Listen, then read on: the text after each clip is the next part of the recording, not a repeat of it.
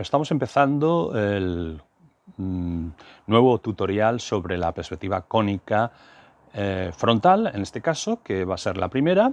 Vamos a ver en dos vídeos distintos la cónica frontal y la cónica oblicua, porque son dos tipos distintos de eh, perspectiva que son muy interesantes para todos los dibujos, para todas las pinturas que tengan algún tipo de construcción o de muebles o de interiores. Y en ese sentido, pues vamos a explicarlo bastante bien en estos dos vídeos separados porque son temas bastante amplios. Entonces estudiaremos primero en este el, eh, eh, la perspectiva cónica frontal, que es la de un punto de fuga solamente. Y en otro vídeo segundo vídeo haremos la perspectiva cónica oblicua, que son dos puntos de fuga.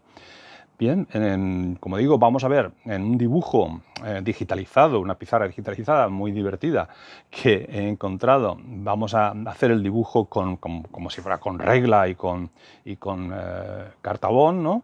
para hacer esta explicación de las líneas de tierra, del punto de fuga y todo eso. Y luego ya veremos unas aplicaciones también con esa misma pizarra eh, sobre mm, otros dibujos que, he encontrado por internet, donde se ve perfectamente cómo se aplica esa perspectiva a otras obras hechas a mano, etc. e incluso con algunos cuadros míos también, donde he, intentado hallar el punto de fuga y la línea de tierra, e incluso unas fotos cualquiera que, hemos, que he encontrado por ahí, que también pueden ser muy interesantes para saber cómo hallar el punto de fuga en un momento determinado para poder pintarlo adecuadamente. Bueno, pues mm, hasta ahora. Bueno, ahora vamos a ver exactamente la parte más de diseño, de dibujo, de la perspectiva cónica. En este caso empezaremos por la cónica frontal, que es eh, la que tiene solamente un punto de vista y además vemos el objeto de frente. Tenemos una cara, digamos, del objeto mm, perpendicular a nuestro punto de vista. Para ello vamos a hacer una serie de dibujos. Yo os recomendaría que cogierais papel y lápiz para ir siguiendo estos dibujos y mm, de esa manera lo aprovecharéis mucho mejor. Vamos a dibujar con esta pizarra mm, digital que tenemos aquí. Vamos a dibujar unas líneas em, rectas, una línea recta mm, que sería la línea de tierra a esta, línea la vamos a llamar línea de tierra, que es donde el cielo se confluye con eh, la tierra, o sea, perdón, el mar, el mar, el mar, ¿vale? Entonces esta línea de tierra, vamos a poner aquí el nombre para que no se nos olvide.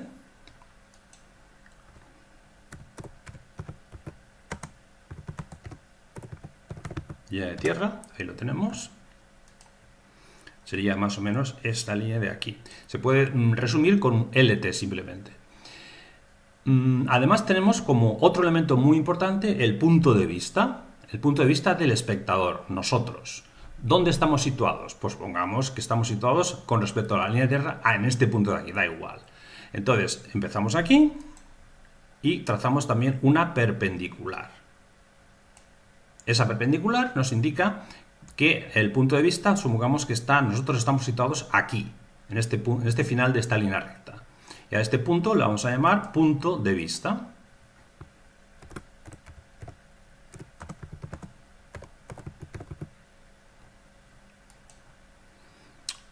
Mm, que se puede resumir en PV, ¿vale? Este punto donde se corta eh, esta proyección sobre la línea de tierra, este punto sería el punto de fuga. Vamos a escribirlo también aquí para que no se nos olvide.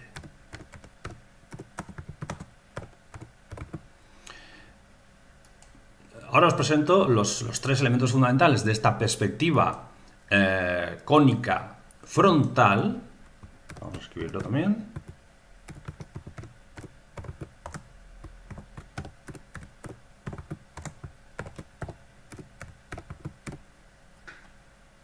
Que es de hecho la más utilizada, la más conocida, la más fácil eh, cuando hacemos un dibujo en perspectiva. Cuando tienes solamente un punto de fuga, que está en este caso ahí, pero podría estar en cualquier sitio en función de dónde tengamos el punto de vista.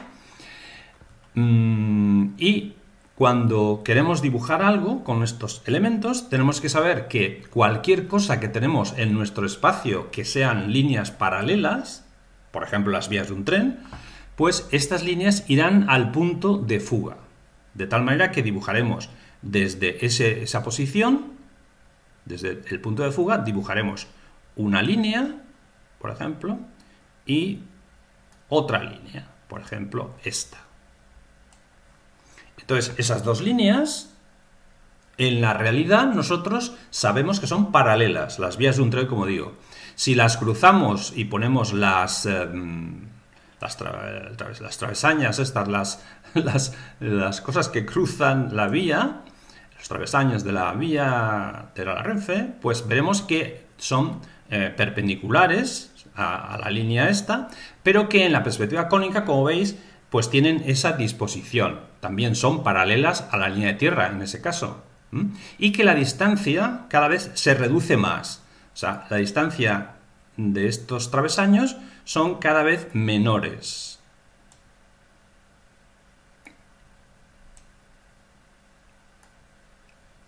Más o menos así, ¿vale? Esto se puede hacer naturalmente con medidas a nivel geométrico o simplemente como estamos haciéndolo muy aproximado eh, para el tema artístico que no necesita de tanta eh, precisión. ¿De acuerdo? Con esto más o menos os hacéis una idea de lo que quiero decir en cuanto a que hay una disminución del tamaño en función de la distancia más o menos así. Y ahí veis esa, perspectiva, esa sensación de perspectiva de que aquello va hacia un punto y tiene esa, característica eh, visión que se llama perspectiva cónica frontal porque tiene solamente un punto de fuga. ¿vale? Vamos a ver otro ejemplo mm, que sea más tridimensional, porque esto es plano, algo que tenga más volumen. Por ejemplo, vamos a dibujar aquí pues un, paralelepípedo, por ejemplo, que sería eh, pues una base, o sea, una cara que fuera un rectángulo, como puede ser esto. Dejo esto de aquí, por ejemplo.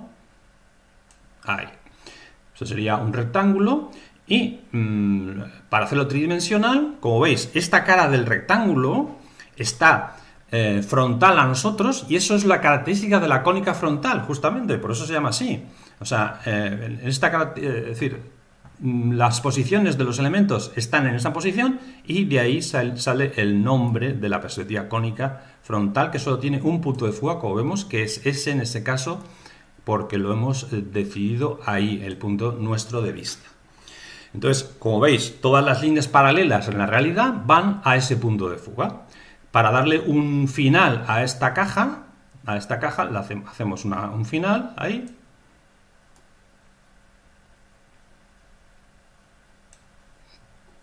Ahí tenemos el final. De aquí, eh, para hacer las líneas de atrás, pero bueno, no hace falta porque así se ve mejor, más volumétrico. Ahí tenemos las tres caras que definen en esta posición la caja esta que tenemos, que puede ser un edificio, puede ser una casa, puede ser cualquier cosa. Eh, esto es si, si, están debajo de la línea de tierra, pero ¿y si sobrepasan la línea de tierra? Por ejemplo, imaginad que tenemos aquí en medio, tenemos otra, otro elemento otro elemento que es mm, mayor y que por lo tanto sobrepasa la línea de tierra. Imaginamos esto de aquí, de ahí iríamos al punto de fuga también para hallar esa línea de ahí. Y desde este, de esta altura también iríamos al punto de fuga, que esta es la clave que mucha gente no acaba de entender. Cuando se pasa la línea de tierra, tenemos que ir también al punto de fuga de arriba.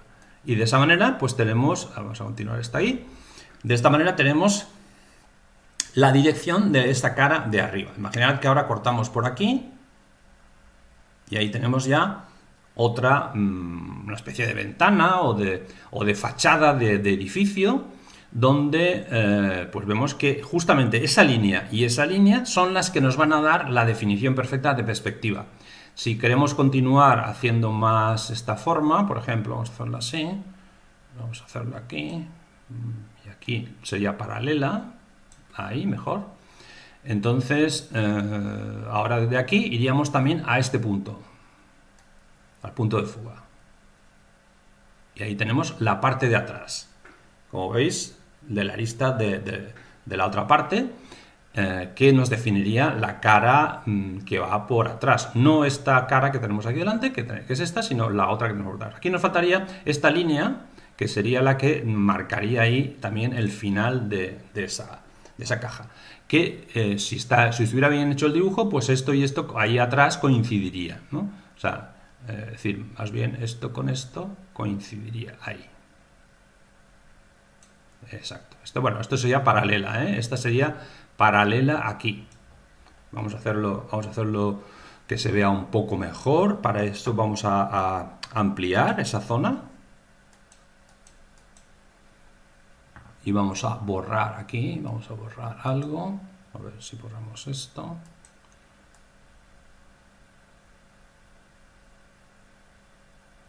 Vale. Bueno, todo como veis está poco aproximado, ¿eh? O sea, eh, tampoco hace falta... Eh, pero bueno, para entenderlo un poco mejor, tenemos que saber que tienen que ser paralelas y perpendiculares unas líneas y otras. Ahora no encuentro dónde está el final del borrador este. vamos a ver si nos lo quita por aquí. Ahora, vale. Ya lo tenemos aquí. Mm, mm, mm, vale, entonces continuamos con la línea. Con la línea que es, esta línea tiene que unirse aquí de manera perpendicular.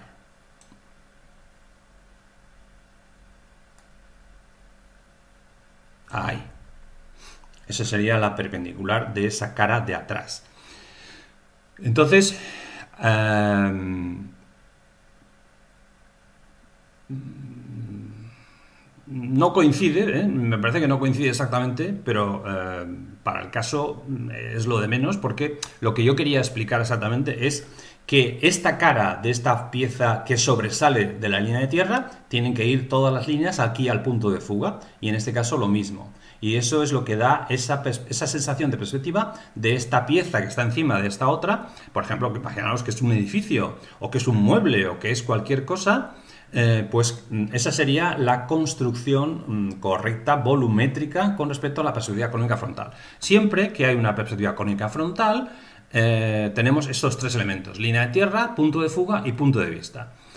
Si en una foto no los vemos, por lo que sea, no está dibujado o lo que sea, pues tenemos que ponerlo nosotros, tenemos que hallarlo en una foto, por ejemplo, en un cuadro podemos hallar dónde está el punto de fuga, dónde está el punto de vista, dónde está la línea de tierra, más o menos. Y de esa manera podemos completar alguna otra línea que no sepamos, por ejemplo, por la derecha, no sepamos exactamente dónde va, si va por aquí, si va por allá, entonces sabiendo que el punto de fuga está aquí, está ahí, pues entonces eh, ahí, ahí está el punto de fuga exactamente, pues ahí es por donde tienen que pasar todas las líneas que sean paralelas en la línea de, o sea, en el punto de fuga, ¿vale? O sea, en la, realidad. En la realidad todas las líneas tienen que ser eh, que vayan al punto de fuga cuando son paralelas.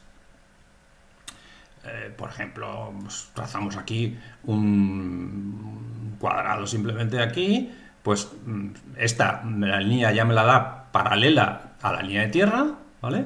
Y aquí otra, otra, por ejemplo, esta, que sería así, ¿vale? Y entonces, evidentemente, esta habría que, que mm, prolongarla. Pues ahí. Pasa que la prolongación de la línea esta no, no sé cómo se hace aquí en la, en la, pizarra digital esta que estamos usando, pero bueno, más o menos, para que os hagáis idea, sería una loseta del suelo o algo de esto. Por ejemplo, imaginad que, luego tenemos aquí otra, otra, a ver, bueno, de aquí más bien para acá. Si tenemos otra línea aquí y esta que viene por acá también, hacemos un suelo, un suelo ajedrezado, por ejemplo, que esto eh, aparece en muchos cuadros, por ejemplo. ¿Mm?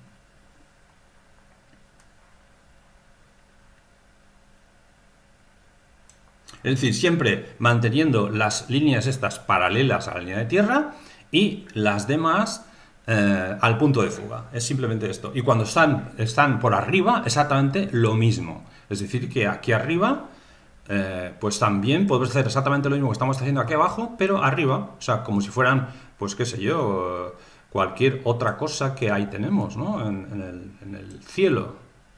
¿Mm? Por ejemplo, esto de aquí. Podemos hallar eh, la diagonal, por ejemplo. También en perspectiva. ¿Mm? Y pues ahora, no sé, que es un techo, un techo de, un, edificio.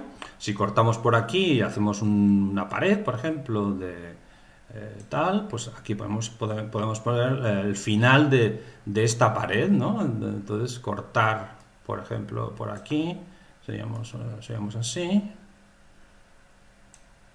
sería un poco la pared de una habitación, yo qué sé, podemos poner por aquí otra línea y entonces tenemos otra cosa, o sea, hay muchas posibilidades de construir siempre y cuando mantengamos esta disposición al punto de fuga, todas las líneas son paralelas y las de encima de la línea de tierra exactamente lo mismo. Bueno, espero que esto lo podáis mínimamente mm, traducir a vuestro papel y lápiz o el sistema que, que utilicéis y que practiquéis este sencillo, mm, esta sencilla manera de dibujar cualquier cosa en perspectiva cónica frontal con un punto de fuga y un punto de vista. Vamos a ver ahora algunas aplicaciones de la teoría que hemos visto de la perspectiva cónica sobre eh, diferentes cuadros o esquemas eh, en la historia del arte. Por ejemplo, esto es una pintura de Fra Angélico eh, que estaba en, bueno, hace muchísimos años, es un fresco, entonces ese sería el esquema de la pintura y aquí lo tenemos para analizar precisamente la perspectiva lineal que pone ahí, la perspectiva cónica en este caso, ¿vale? Entonces, como hemos explicado en la perspectiva cónica frontal, tenemos un punto de fuga solamente y todas las líneas que son paralelas en la realidad van a ese punto. De manera que, eh, si lo hemos hallado aquí, vemos cómo la, la, línea de las columnas, la vamos a poner en amarillo y lo vamos a ver repasadamente, la línea de las columnas de fuera es esta y la otra línea de las columnas por dentro es esta de aquí. ¿De acuerdo? Y está perfectamente alineadas. Eh, después, pues ahí, ahí, ahí tenemos también otras líneas que marcan la dirección de, las, de los capiteles, de las columnas. Y eh, bueno, esta de aquí no sé exactamente muy bien qué significa porque, mm, bueno, va, eh, no, no, veo un elemento ahora mismo ahí, y igual que esta, no veo elementos que eh, tengan relación con la perspectiva. Estos, estos, estas que yo he marcado amarillas sí, sí que tienen una cierta relación, pero para que os hagáis una idea y que ya en esta época ya se usaba esto de la perspectiva eh, cónica. Vamos a ver otro dibujo, otra foto, eh, por ejemplo, de un camino, un camino sencillo, hecho en dibujo también, con lápiz probablemente. Entonces en este dibujo podemos ver mm, pues mm, las sombras arrojadas de los árboles, por ejemplo, que también están más o menos eh, inventadas. Vemos que hay un punto de fuga, ¿vale? O sea, por tanto es una cónica frontal también. Esta cara está perpendicular a la vista del espectador Ahí tenemos el punto de fuga y todas las líneas son las que van ahí, todas las que son paralelas en la realidad van a ese punto, incluida esta otra casa pequeña que hay aquí, las de arriba exactamente lo mismo que dijimos a partir de la línea de, tierra y las de aquí, de los árboles, exactamente lo mismo. El que está más cerca está más alto, por lo tanto también esa línea iría ahí. ¿Mm? Ahí veis un poco las puertas de la casa, exactamente igual. ¿Eh? Esta no, porque esta es, frontal, pero la que es lateral, que sería paralela, por lo tanto también tiene que ir al punto de fuga. Vamos a ver otro, otro caso de este tipo de cosas. Por ejemplo, en una calle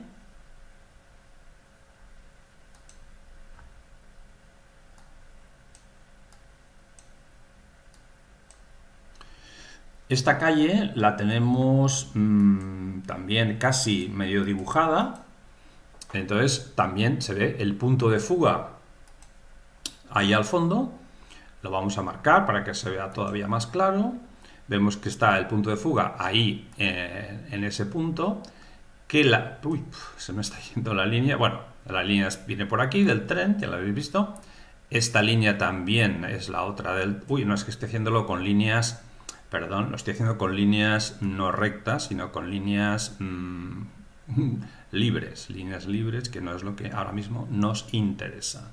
Vamos a comenzar de nuevo con líneas rectas. Ahí estamos. Entonces, eh, como decía, desde este punto llevamos una línea recta y nos da esa línea de la vía del tren.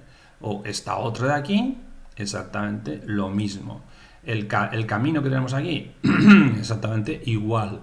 Esta otra línea que tenemos de, las, mm, de los postes, también igual. Luego por aquí tenemos otra, que es la de las hierbas estas del camino. La valla de la casa, también tenemos otra línea esta, el final, la altura de la, de la valla también la tenemos aquí. Por la parte derecha tenemos también la, la valla en esta dirección. Y aquí tenemos la otra parte de la valla. La casa tiene pues esta dirección también perfectamente marcada, igual que estos tejados también están marcados ahí. ¿Vale? Esta cara no, porque es perpendicular. Las ventanas también. Las ventanas, estas de aquí, tienen que ir al punto de fuga. Y entonces las dos, eh, por arriba y por abajo, eh, coinciden. En este caso, esta parte lo mismo, esta, es paralela al espectador, o sea, perpendicular al espectador, pero este lateral sí que tiene que ir ahí también. ¿Vale? Ese lateral sí que tiene que ir ahí. Y los árboles, bueno, los árboles mm, no hay esa dimensión tan clara. Evidentemente los que están más cerca pues estarían eh, más grandes que los que están más lejos, ¿vale? Es decir, mm, lo que hay que procurar es que un árbol que esté aquí no sea más alto que este, o sea, no venga por aquí, por ejemplo, porque entonces no tendría mucho sentido. Los árboles más grandes son los que están más cerca y los que están más lejos son, pues, otros árboles, ¿vale? Más pequeños, quiero decir. Por ejemplo, esta línea de los árboles de aquí. Por supuesto, los cables de, la luz, del tren o de lo que sea, de del tendido eléctrico, pues también están ahí marcadas. Entonces, fijaros eh, qué, imagen, qué estrella eh, marcando el punto mm, de fuga ahí, ¿no? El punto, en este caso, es el punto de fuga. Uy, se hace muy grande porque está ampliado. Mm. Punto principal, vamos a ponerle a este porque es, el, es la frontal. Vamos a ponerlo aquí, un poquito más reducido si pudiera ser, pero no sé ahora mismo cómo se hace. Entonces mm, lo vamos a dejar así. Bien, eh, pues esto es la, la frontal con esta distribución.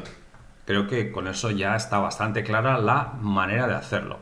Vamos a aplicarlo, vamos a verlo exactamente también en un cuadro muy famoso que es el de las meninas. En el cuadro de las meninas también eh, ya se han hecho esos análisis de la perspectiva.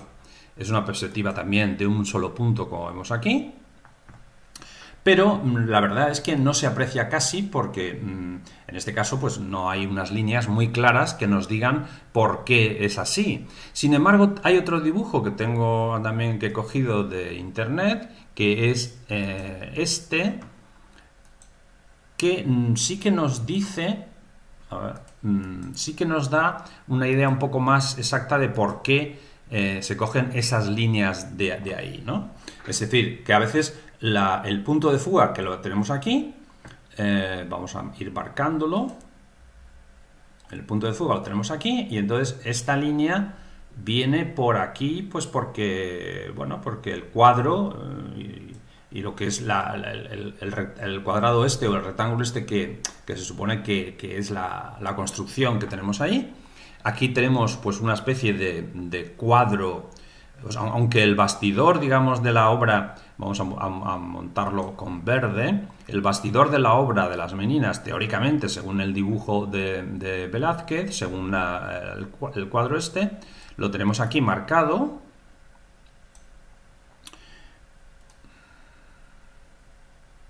Tenemos ahí.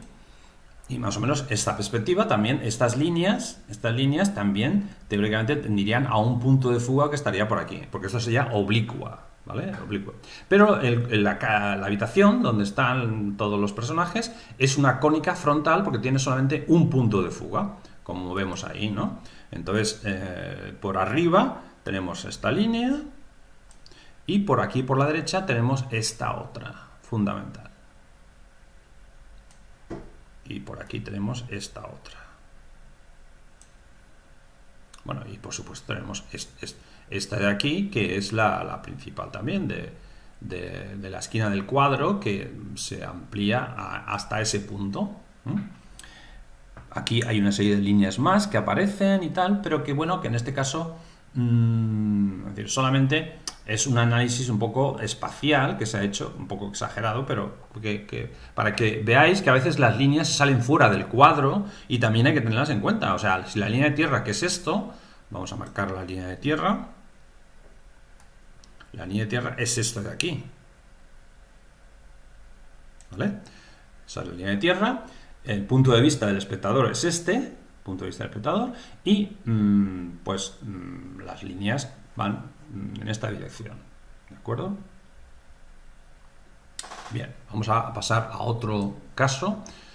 Por ejemplo, mm, vamos a ver este, que es una habitación también parecida a esta que hemos visto, más actual, eh, también con eh, frontal. Frontal. ¿Por qué? Pues porque hay un punto de fuga. ¿Dónde está el punto de fuga? Vamos a marcar el punto de fuga primero la línea de tierra. Bueno, no, vamos a hacer primero, cuando tenemos una, imagen como esta y queremos hallar dónde está la línea de tierra o dónde está el punto de fuga, simplemente tenemos que mm, seguir alguna de las líneas que ya tenemos en el dibujo. Por ejemplo, esta. Supongamos que tenemos esa línea y, por ejemplo, tenemos esta línea de aquí. Entonces, donde se cortan esas dos líneas, ahí tenemos el punto principal y la línea de tierra. O sea, la línea de tierra iría justamente desde ahí. Vamos a ver si puedo hacerlo con este sistema más o menos ahí. Esta sería la línea de tierra. Y ahí, exacto. ¿Mm? Esta sería la línea de tierra.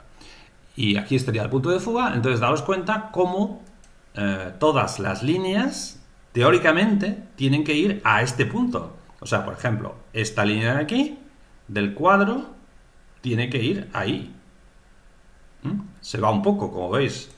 Eh, por ejemplo, esta de aquí tiene que ir aquí.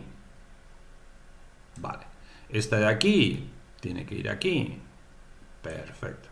¿Vale? Estas de aquí abajo tienen que ir ahí también.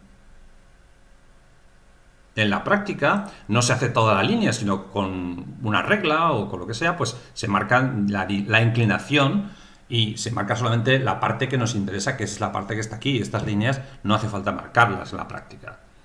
A ver, si tenemos otra línea por aquí, pues por ejemplo esta, esta sería aquí, esta sería aquí.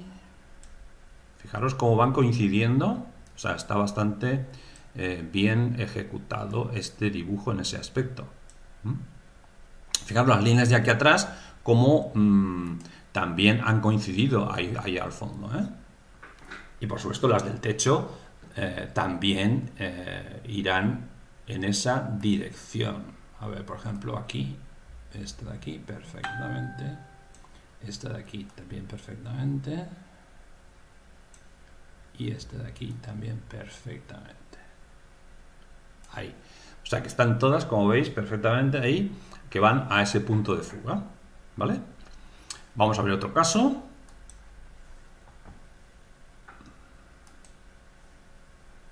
Bueno, esto ya es un dibujo eh, pues, como lo que estamos viendo, pero mm, ejecutado probablemente por, no sé si es ordenador o alguna cosa de estas. Es parecido a lo que ya hemos visto.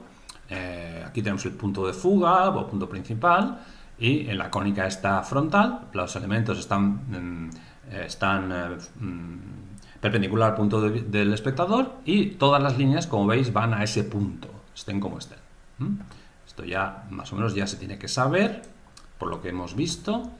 Y ahora vamos a aplicarlo, vamos a verlo en cuadros, eh, exactamente en cuadros míos.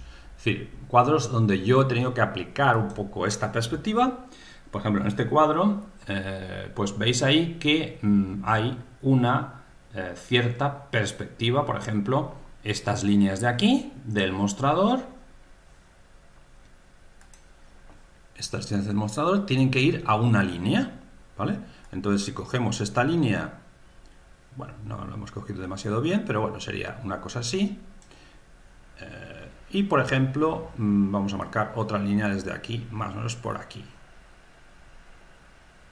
Bueno, pues ahí tenemos ese mostrador. Entonces, fijaros que donde se van a cortar, esta línea estaría, bueno, sí, más o menos.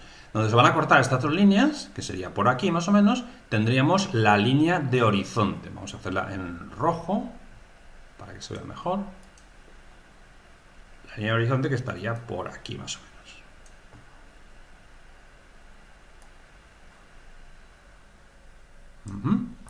Fijaros que la parte de arriba como es esta, pues también tiene que ir al punto de fuga. ¿Mm? Se va un poco, como veis. ¿Por qué? Pues porque en la pintura no es como en el dibujo técnico y puede haber unas ciertas licencias. Si lo hacemos exactamente como tendría que ser, como es este caso, como veis aquí, pues quedaría demasiado forzada la perspectiva. Entonces, en la práctica vemos cómo eh, algunos elementos es importante lo que estoy contando ahora. Algunos elementos no se, se dejan que no vayan exactamente al sitio, como, por ejemplo esta línea de aquí. ¿Por qué? Pues porque eh, eh, es mucho más interesante para la composición. O sea, para la composición queda más abierta que si la hacemos como tiene que ser así, que quedaría mucho más cerrada, ¿vale? Y a veces hay que evitar eh, también esas cosas. Por ejemplo, esta línea que tenemos aquí, pues también va a otro sitio, o sea, no va al punto de fuga. O estas de aquí, vamos a ver, estas de aquí, mm, estas, eh, estas vienen por aquí, bueno, bueno. Igual el punto de fuga lo podríamos tener un poco más para acá, ¿eh? no sé exactamente, quizás lo tenemos un poquito más para acá, pero de todas maneras esta línea no llegaría aquí nunca. ¿eh? Es decir, que por tanto esos elementos están exageradamente dejados en otra dirección. Pero como veis, es una, es una cónica frontal, en el sentido de que hay solamente un punto de fuga, que podemos tener, por ejemplo, todo esto de aquí, ¿vale? Y tenemos eh, esto de aquí, esta línea de aquí, por ejemplo, la línea de las mesas también, línea de las mesas, que sería esta. Esta es también línea de las mesas, que como veis, eh, tampoco coincide exactamente, es más o menos, ¿vale? De la mesa aquí y esta línea de la mesa aquí. Bueno, esta sí que coincide. Aquí en la mesa está lo mismo, más bien aquí, pues bueno, esta no tienen por qué, porque en un café, por ejemplo, las mesas no están perfectamente paralelas perpendiculares, siempre hay un movimiento que eso le da más, más riqueza, digamos, a la composición, pero bueno, para que veáis un poco y entendáis lo que queremos decir. Las, flores están, las fuentes, las lámparas, también tienen que ir ahí y hay una inclinación de que aquí son más grandes y hay más pequeñas. Estas, mm, estas lámparas de aquí arriba, exactamente lo mismo también. Tiene que haber una cierta inclinación.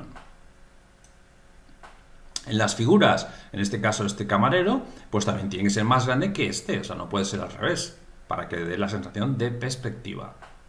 Y con las figuras que están sentadas, lo mismo, o sea, tiene que haber un, tamaño más pequeño aquí que aquí. Naturalmente hay que tener en cuenta que están sentadas o están de pie. O sea, es decir, pero hay que tener en cuenta todas esas cosas. Bien, vamos a ver otro caso. Por ejemplo, este de aquí este cuadro mío también, pues eh, necesitaba algo de, todo esto que estamos hablando porque es una calle, es un interior de una calle y una calle interior como esta, que hay muchas casas que se juntan y demás, es muy similar a lo que sería un interior de una, de una habitación. Entonces vamos a ver aquí, por ejemplo, dónde está la, línea de horizonte, que por ejemplo podría estar por aquí, vamos a suponer que es, yo creo que este sería por aquí, perdón, aquí exactamente lo tendríamos por aquí, mm, tendríamos una línea ahí más o menos. Y por aquí, por la derecha, yo creo que esta línea, esta línea nos tiene que llevar, por ejemplo, esta línea nos tiene que llevar pues una cosa por aquí. ¿Mm? De manera que si esto lo prolongamos, lo prolongamos aquí, nos daría ahí la línea de tierra. Vamos a marcar la línea de tierra.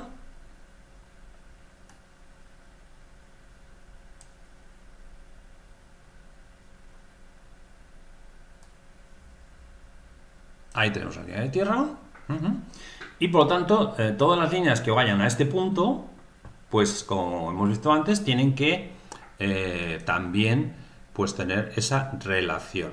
Por ejemplo, si lanzamos aquí una línea de, las, de los pies de los, de los personajes o de las cabezas, pues también, evidentemente, aquí tienen que ser más grandes que ahí, ¿no? Es decir, aquí lo mismo, aquí si tenemos esta línea de aquí. Luego las de arriba, fijaros que sí que hay una cierta inclinación ahí para que se entienda que hay eh, esa, situación. Eh, bueno, estas ya son un poquito menos trabajadas en ese sentido, pero básicamente, como veis, esa sería un poco la distribución de, las líneas de horizonte y de eh, al punto de fuga de, este, de esta composición, más o menos, ¿vale? Más o menos. Porque en pintura todo es muy aproximado, o sea, no es como al como hemos visto en el dibujo tan exacto, más o menos exacto, aunque tampoco lo hemos visto en plan técnico.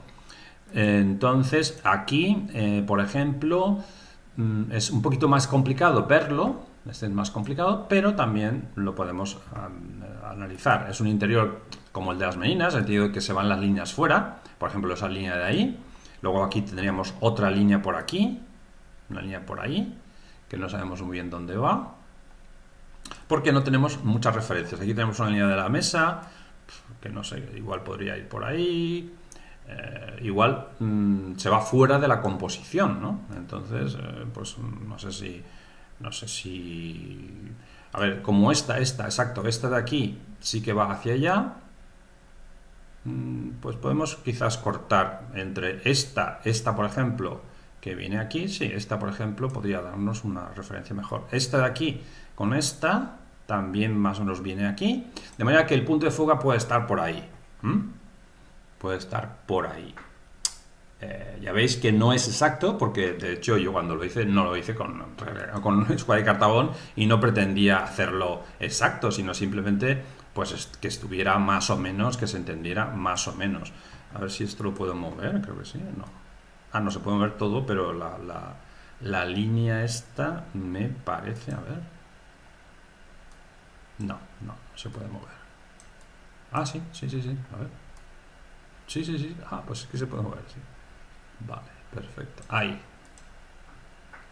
Fijaros que ahí sí que coinciden, ahí sí que coinciden la línea de tierra con esos puntos que hemos hallado al principio, más o menos aproximados de cómo iba la, la situación, ¿no? La verdad es que esto lo estoy haciendo por primera vez, porque estos cuadros yo no hice toda esta mm, situación de análisis, ¿vale? No, no lo hice eh, consecuentemente, claro, porque entre otras cosas yo tengo ya muy interiorizado, digamos, este, este sistema de, la, de las líneas de tierra, de la, de la composición, etcétera. A ver, aquí por ejemplo puede ser muy interesante también hallar este. Vamos a hallar, por ejemplo, tenemos aquí una línea que viene por ahí más o menos. Luego tenemos la línea que viene por aquí, más o menos. Luego tenemos esta línea que viene por aquí, que podría ir ahí.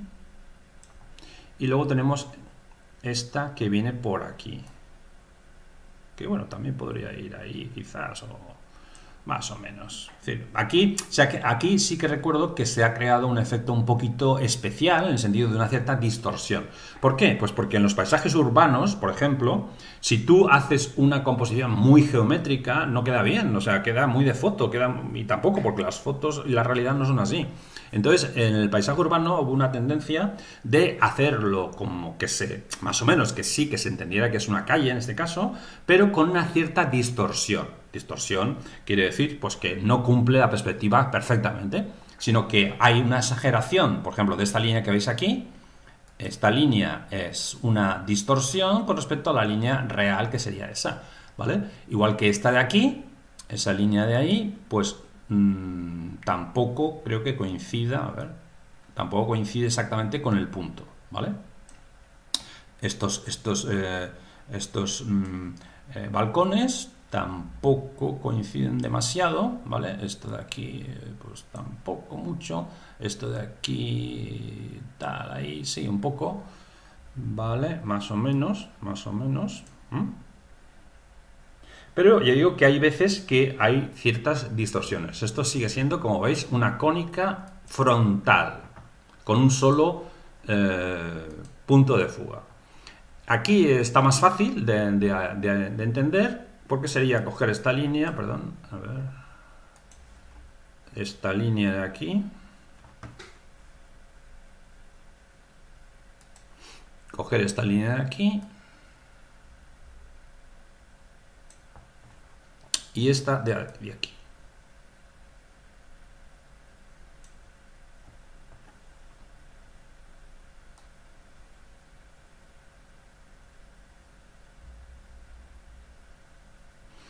Y entonces, más o menos, si lo veis, pues se van juntando en ese punto de ahí, más o menos. Más o menos. Pero no es tampoco exacto. No es tampoco absolutamente exacto, quiero decir. Absolutamente exacto. Es bastante aproximado, pero nos sirve para entender lo que estamos diciendo. Fijaros cómo, entonces evidentemente la línea de tierra tiene que estar ahí. Vamos a ponerla en este caso de color amarillo. La línea de tierra iría por ahí.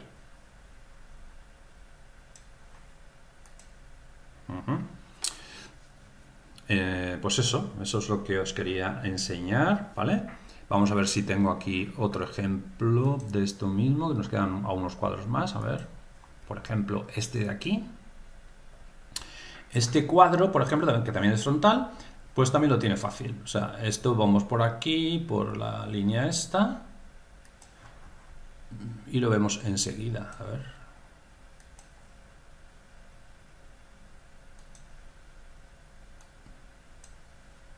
A ver, no ha cogido esto bien.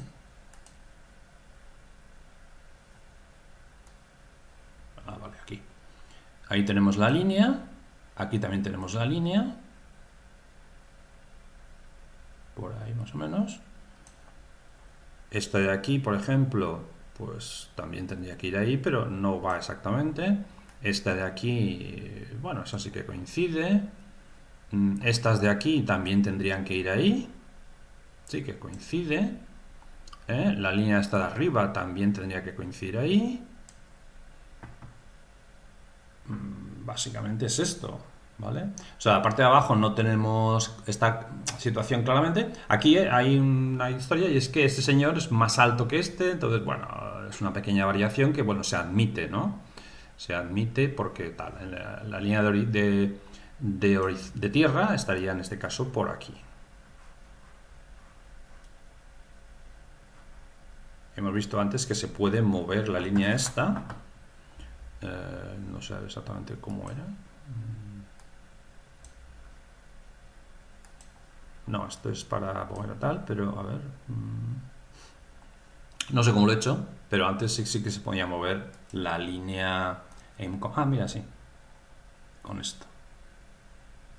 Mm, eh, se puede eh, ajustar ahí y sí que vemos que ahí sería la línea de tierra y aquí sería mm, las líneas de fuga al punto de fuga de todas las líneas que son paralelas en la realidad y fijaros, fijaros, estas de aquí y estas de aquí cómo más o menos coinciden. ¿eh? O sea que es interesantísimo eh, que se mantenga una cierta, una cierta relación porque eso le da mm, más contundencia al estudio. Pero fijaros aquí, por ejemplo, que esta cara, si lo marcamos con esta línea tan forzada, que es lo que os decía antes, al estar en primer término, quedaría excesivamente técnico, demasiado, mm, eh, demasiado eh, científico y, no, no, no, no atrae a la vista de esa manera. Entonces es mucho más digamos, natural verlo así porque así se enseña bien esta cara, si no, ¿para qué la ponemos? ¿no? O sea, las cosas que pones en un cuadro es para que se vean, no es para esconderlas, sino que realmente si has decidido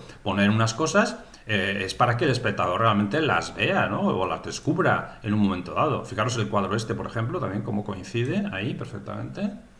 Por supuesto, las, farolas, los, estantes de aquí, ¿eh? todo eso tiene que ir a este punto de fuga que es donde tenemos, en este caso, el punto de vista. Esto es, esto es parte, esta, este tema es un, es un café bar de Valencia, el, el, Finnegan's, eh, un bar inglés, un pub inglés, eh, que yo hice la foto, mm, tal como se ve ahí, y ese punto de vista es mi altura Mm, donde la cámara mm, impactó en este, en este cuadro.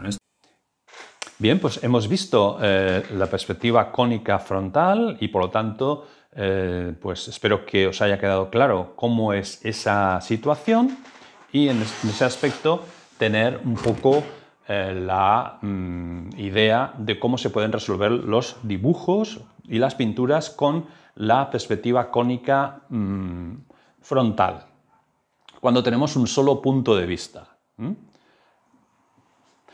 Por ejemplo, mm, por ejemplo, en este caso, lo que tengo detrás, como veis, es una, habitación. Entonces, ese punto de vista, las líneas que están a derecha y izquierda confluyen en un punto central, que estaría donde está mi cabeza más o menos. ¿Veis? Eso sería la cónica eh, frontal, que es bastante habitual y, fácil en, muchos eh, sentidos y en muchos aspectos, pero que a veces pues, bueno, se confunden la, una con otra y nos liamos bastante. ¿eh? Es decir, por, eso hay que repasar bien los conceptos de cónica frontal y cónica oblicua. ¿De acuerdo? Bien, pues hasta el próximo vídeo, suscribiros.